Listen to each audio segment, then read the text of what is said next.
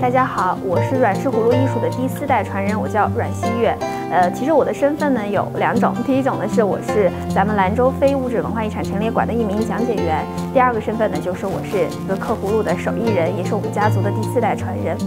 接触孩子们接触的玩具都是什么洋娃娃的时候呢，我接触的最多的玩具可能就是葫芦了。我们家里面信手拈来的都是葫芦。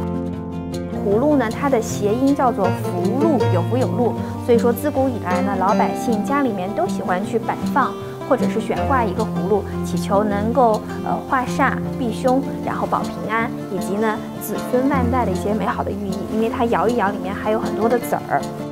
咱们兰州刻葫芦呢，它是以特制的这个钢针去雕刻的，很好理解，就相当于是在葫芦上面给葫芦纹身一样。我们叫它鸡蛋葫芦，就是长在咱们兰州的这个沙质土壤里的这个青白石生长的一个葫芦，叫做鸡蛋葫芦。因为它的直径大概在四五厘米左右，形似鸡蛋大小。同时呢，它的皮质非常的细嫩，呃，适合去做一些微雕的艺术作品。这就是兰州刻葫芦最具代表性会用到的一个葫芦的器型。那咱们老百姓眼里常见的葫芦，肯定认为是这个样子的，就是中间的腰比较的细，上面的腹部比较小，下面腹部大的这样一个器型，叫做压腰葫芦。然后画面当中我们可以看到，咱们阮氏家族呢有一个艺术特点，就是微雕。从我从我太爷到我外公到我母亲这一代呢，他们表现出来的这个画面呢，都是雕雕刻的非常精细的。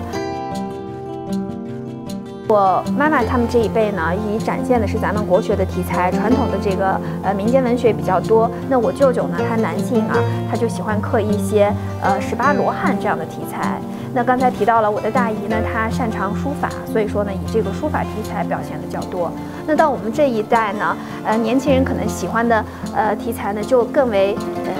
有年轻化的特征了，比如说动漫题材，我们有刻过，呃，旅行的青蛙，这是最早以前去刻过的一些图案，以及这几年的疫情，我们把当下的生活也是通过葫芦去记录下来了。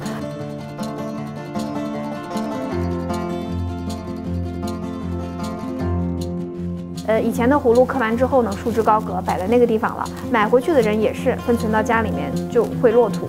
但是其实葫芦最早在古丝绸之路开通的时候，它就是以实用性、储藏性为主的，里面肚大能容，可以装水，可以装粮食。当然现在我们不需要长距离的跋涉用葫芦去装这些东西了，但是可以装现在年轻人喜欢的一些东西，比如说文玩的东西，或者是茶叶。或者是香粉，搞香道的朋友，对不对？搞这个喜欢茶道的朋友，他可以把葫芦作为一个小的这个载体，里面装一点点每天日需的这个茶叶或者是香粉在里面，随身携带。我觉得这也是一个很好的这种实用性的开发。他们带给我们很多新鲜的东西，还能呃简单化，市场上的人呢都很容易接受。这样子的话，我就说他一年到最后他的作品。卖出去的比我的还多。